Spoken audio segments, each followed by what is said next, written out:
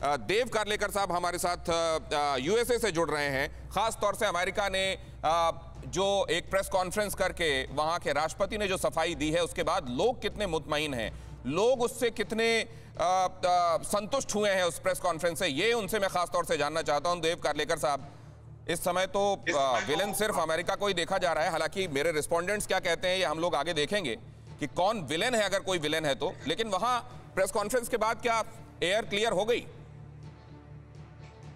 दिनेश जी सबसे पहले thank you so much for inviting me at TV nine Bharatvarsh TV nine Bharatvarsh यह मुद्दा बड़े अच्छी तरीके से इसे लाइमलाइट में लेके आ रहा है। बड़े अच्छे कन्वर्सेशन डिस्कशन हो रहे हैं। मैं देख रहा हूँ आपको पिछले दो दिन से। Thank you so much so keep up the good work thank you so much रही बात जो अफ़गानिस्तान में हुआ। देखो हम 20 साल से यूएसए इज़ इन अफ़गानिस्तान। हमने पिछले 20 साल में तीन ट्रिलियन से ज़्यादा अफ़गानिस्तान पे खर्च किए।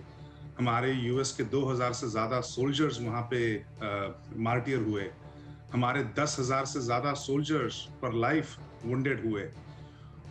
इतना करने के बाद हमने उन्हें जो भी टेक्नोलॉजी दी आर्म्स एम्यूनेशन सब कुछ दिया, अफ़गानिस्तान की एक लाख पचासी हज़ार की फौज को ऑलमोस्ट टू लाख और वह दो लाख की फौज डज अ कंप्लीट सरेंडर यह फौज और उनकी जो तालीम उनकी जो गवर्नमेंट है is busy doing corruption in busy in total surrender तो जिसको जिगरा नहीं है लड़ना नहीं चाहते जिसको देश का पेट्रियोटिज्म सुरक्षा नहीं चाहते जो देश सिर्फ़ करप्शन करप्शन करप्शन सर ये समझने में अमेरिका को 20 साल लग गए।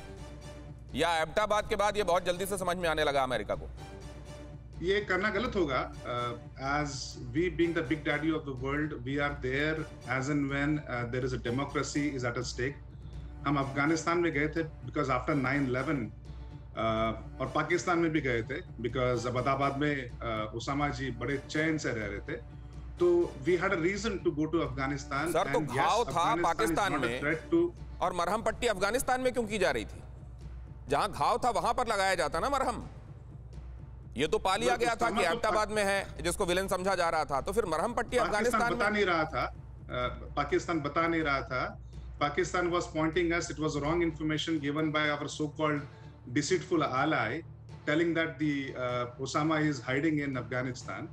तो वहाँ पे हमारा कुछ समय गुजर गया लेकिन वी फाउंड आउट एंड वहाँ पे जाके घर में घुसे के उसके मार दिए।